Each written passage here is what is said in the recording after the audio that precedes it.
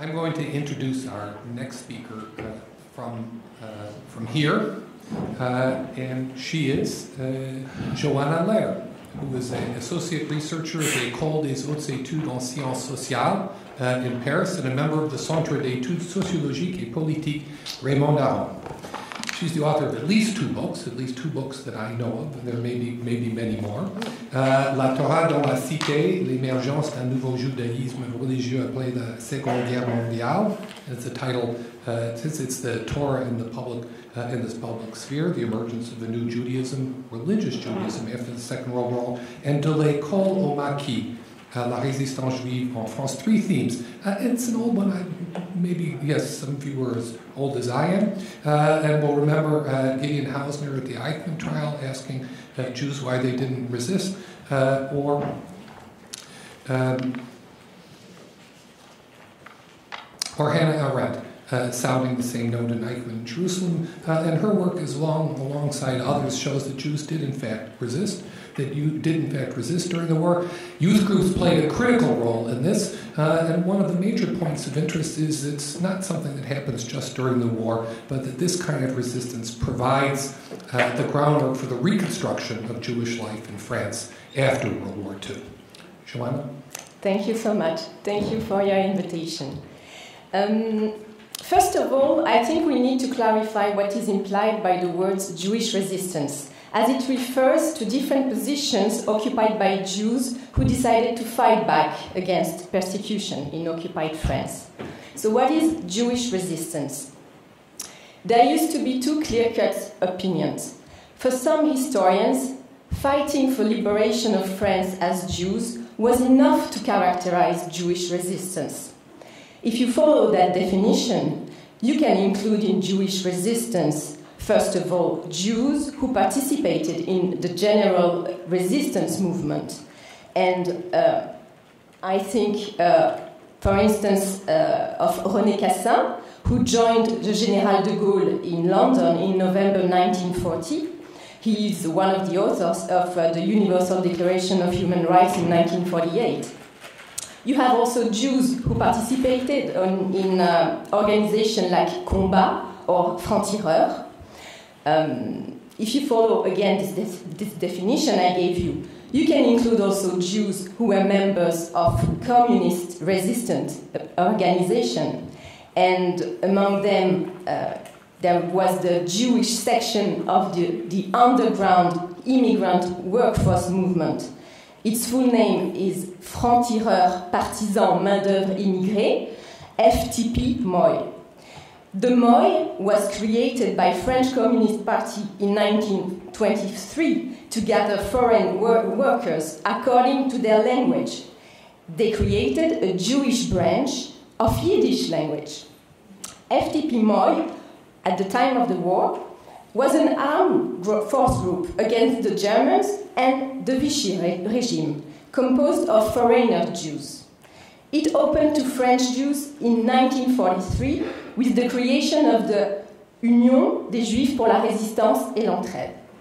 This movement has, has, been thoroughly studied by a French historian Annette Wieviorka. Some names of these Jews, resist, this Jewish resistance, may ring a bell. Henri Krasucki, a Jewish Polish communist who made sabotage, attacks on German trains, tra uh, on German trucks, forged the IDs, was deported in Auschwitz in June 1943. He became, after the war, a major French Communist Union leader. I think also of the Misak Manouchian members group uh, who were executed by the Germans in France, in Paris, in 1944. German and French created l'affiche rouge that you can see here, showing the picture of 10 members of this group, and they distributed it in Paris to discourage resistance. As I said, some of them are known, but others were immediately forgotten after the war like the 16 year old Isidore David Grimbert, who joined the OS, Organisation Spéciale, Special Organization, which was the secret military branch of the French Communist Party. I found track of him in French prison records.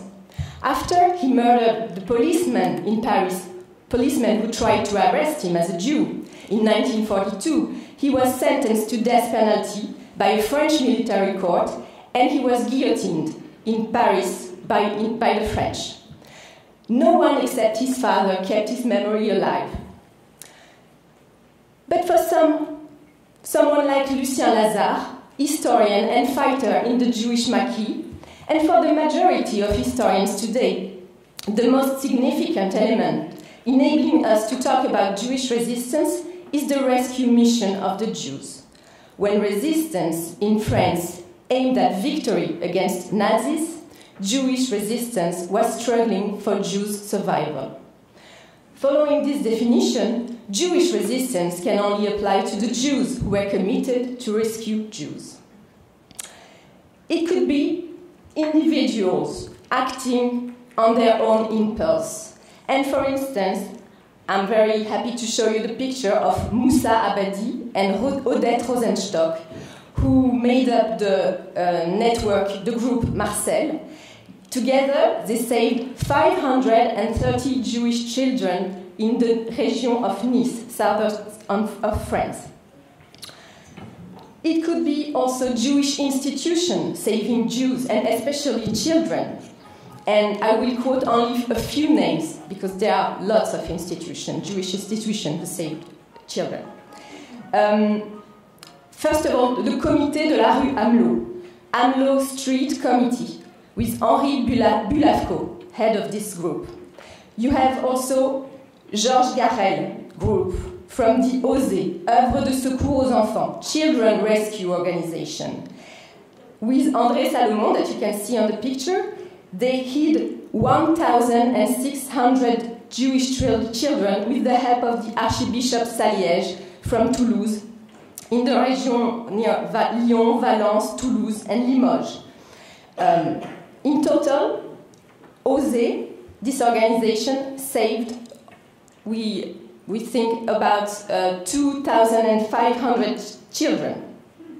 OSE was founded in Russia in 1920, uh, um, sorry, 1912 to protect Jewish population health. It was transferred in Berlin in 1923 under the patronage of Albert Einstein, and then it moved to Paris in 1933. You have also the Éclaireurs Israélites de France, um, Jewish Boy Scouts, and La Sixième, its underground branch. They also saved children. They forged IDs, they conveyed Jews to Spain, to Switzerland. You can see here in the picture, it's a photo of the La Sixième, this clandestine branch, and they saved children in home, uh, especially in Chamonix, as you can see in the picture of the map. Uh, here, I put the map. My own research sheds a light on a specific form of Jewish resistance the one combining Jewish armed rescue and Jewish education given to the young persecuted Jews. It has been implemented by a tight group of Jewish leaders who were members of different Jewish organizations. First of all, you have, as I said, les éclaireurs israélites de France, Jewish Boy Scout. The movement was founded uh, by um, Robert Gamzon, French Jew, who will, who will later uh, create the Jewish Maquis. You have also le mouvement de la jeunesse sioniste, Zionist Youth Movement, created by Simon Levitte, who was member of the Éclaireurs Israélites de France. He built, he was the one who built the Jewish library in Moissac, the home we spoke about uh, a couple of minutes ago and he saved hundreds of Jewish children by conveying them to Switzerland in 1944. You have also a leader from the OSE, Œuvre de Secours aux Enfants. His name was Jacques Cohn. He worked along with the rabbi of Strasbourg, the, the Deutsch, uh, his name was Rabbi Deutsch. Uh, all the Jewish community from Strasbourg has to resettle in Limoges And together they run Limoges a boarding school and a very special school that was called Le Petit Séminaire Israélite de Limoges. You have also another youth movement uh, named Yeshurun, an Orthodox non-Zionist group founded in Strasbourg in, 19, in the 20s after the German uh, neo-Orthodox uh, Rabbi Samson Raphael Hirsch, and whose members, only boys, were also Boy Scouts. And another institution, l'Armée Juive, the Jewish Army, founded in Toulouse by Abraham and Eugenie Polonsky in 1942.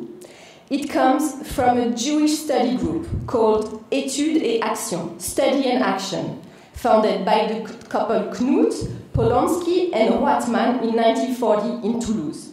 The Jewish Army will become Organisation Juive de Combat, Jewish Fighters Organization, after the Warsaw Ghetto Uprising, and will have its own maquis very close to the Boy Scout maquis. So, what do they have in common? Those Jewish leaders, both French and strangers, mainly uh, Eastern European, were educated people, open to the world, some of them religious, but most of the French Jewish resistance didn't know anything about Judaism or Jewish studies. Together, not only did they learn during the war, but they were committed in spreading Jewish studies and at the same time fighting in the resistance. resistance. They forged ideas, they hid Jews, especially children, but they fought in their own maquis In early 1944, many of them joined the maquis, Jewish maquis created in the Tarn region by Robert Gamzon, and also another maquis, the maquis from the Organisation Juive de, Juive de Combat, Jewish um, Fighters Organization. As you can see here in the picture, uh, in the maquis you, can, you could find men and boy, boys and girls together. And I'm very happy tonight because uh, the woman who is on the picture you, we have uh, the pleasure tonight to have the um, grand, grandson of her uh, tonight in the room and his family.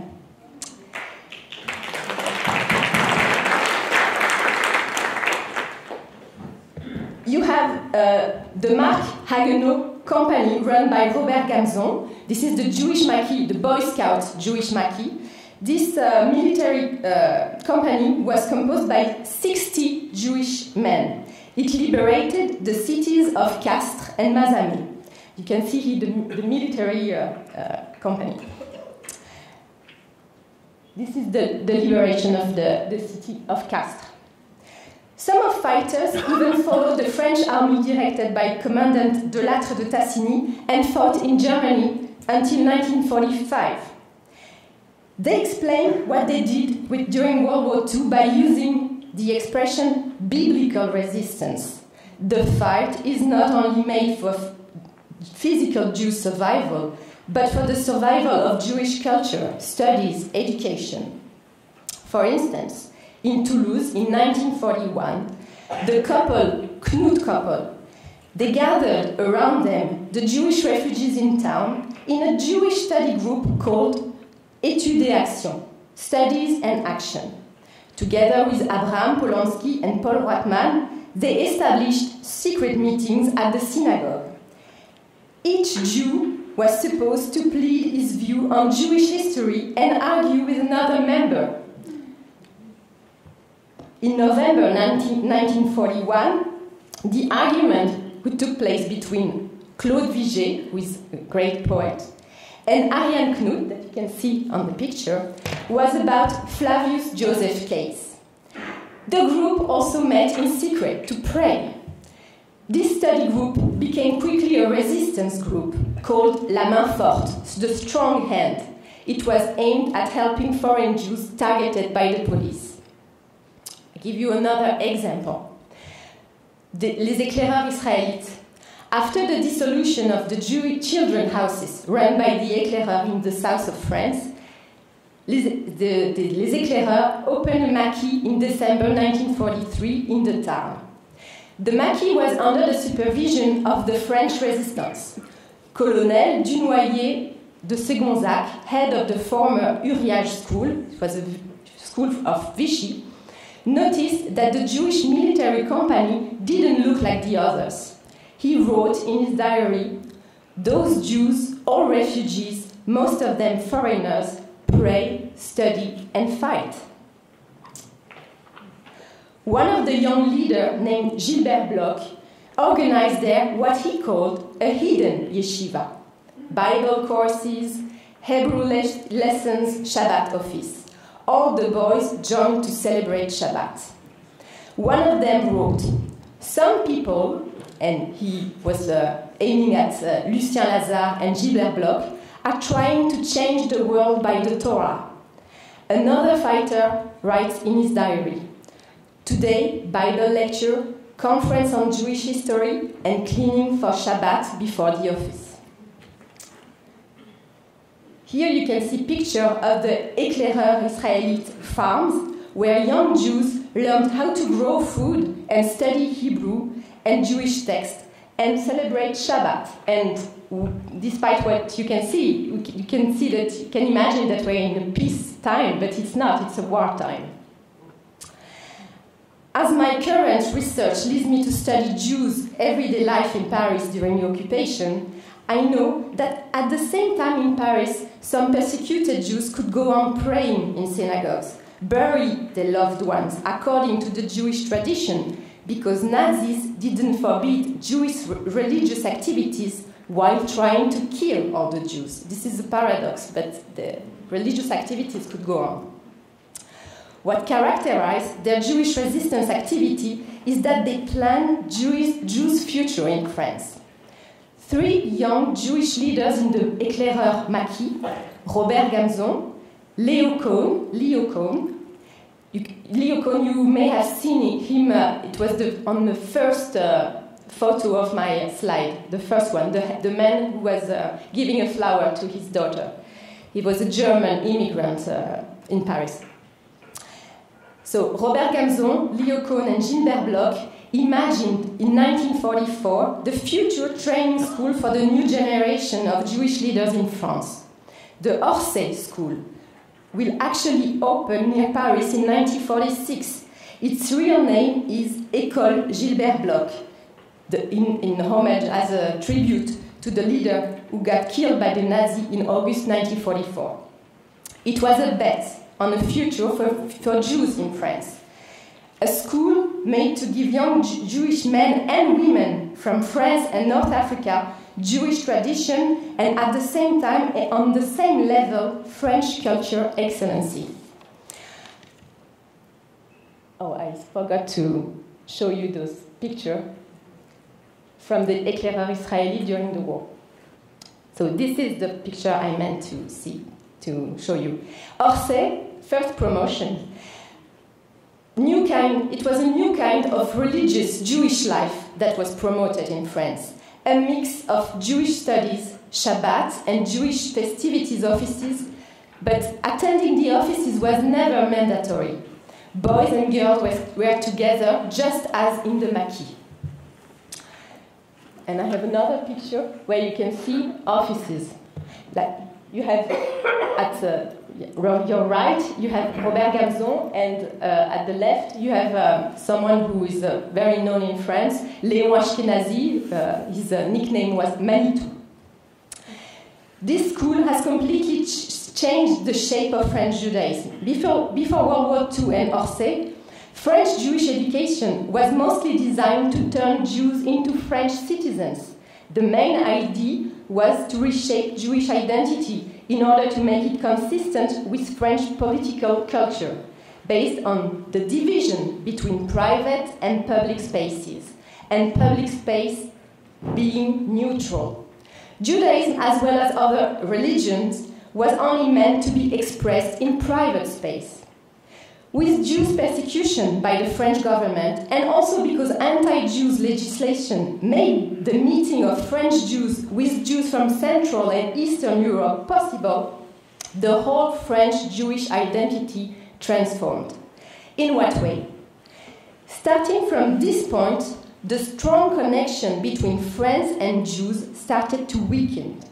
And some Jews in France considered themselves as French and as Jews, but not French Jews anymore. The content of Jewish studies changed in France. Jews started to study Hebrew, Jewish history, Bible, Talmud, but also Midrash. And Midrash was not taught in France before the war. This change was due to the influence of some Eastern European Jewish intellectuals, refugees in Paris during French occupation. And here you can see the man with the glasses. His name is Jacob Gordin. He was born in Latvia, student in St. Petersburg and then Berlin, close to Hermann Cohen's group. He studied Kabbalah with Ukrainian Jews in Yalta in 1917. Um, he was a refugee in Paris in 1931, but couldn't find a position at French university.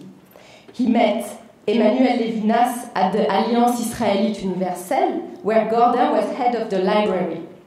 After 1940, he became an accounting for the Éclaireur Israélite children's home in south of France, Beaulieu. There, he was discovered as a Jewish study master by Georges Levitte, the brother of Simon Levitte. You saw the picture, the founder of the Zionist youth movement. Back to Paris in late 1944, he became in 1946 the teacher of Jewish master at Orsay School, but he died in 1947. The French Judaism today is Gordin heritage through thinkers and rabbis like Léon Ashkenazi, Manitou, but also the philosopher Emmanuel Levinas. What did Gordin bring to French Judaism? I quote, I will quote what his uh, disciples uh, say about him. Consider our books as great books reverse the scale of values and put Jew Jewish tradition first as a reference. Universal thinking must be evaluated with the criteria of Jewish conscience. With that method, they develop, develop a new way to study Jewish tradition, mixing philosophy and mysticism.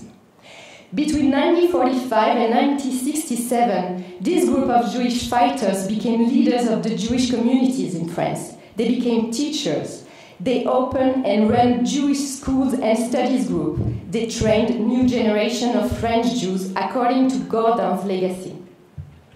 But other Jewish fighters didn't find in France after 1945 the, the possibility to live and raise their family as Orthodox Jews. I give you the example of Marc Breuer, a German Jew who arrived in France in 1933. He was the great grandson of Rabbi Hirsch, the founder of the Yeshurun. Um, before the war, he was a teacher of Talmud in Paris. Then he took care of a religious maquis for the Éclaireur. Um, then he took part of the resistance in Vercors. But after the war, he couldn't find a position in a Jewish school after. So he moved, he had to leave France, and he moved with his family to New York City, where he became a salesman and wrote comments on the Torah, very famous. He died in New York City in 2002. To conclude, I would like to quote Aaron Appelfeld, the Israeli uh, Nobel Prize author, who described perfectly one consequence of Jews' persecution during World War II in his book Beyond Despair. It was published in 2005. The Holocaust did not catch the Jew with his ancient faith at its most powerful, but at a moment of weakness when he was trying to find his way. Considerable portions of the Jewish people had already passed beyond the bounds of their Jewishness. The woods and the bunkers not only provided shelter against the enemy, but also served as a kind of retreat, allowing one to get to the source of all that suffering. In the wood and the bunkers, the vehement discussion would last until dawn. The Jew faced not only the Nazis, but also in his own Jewishness, which was haunting him. Thank you.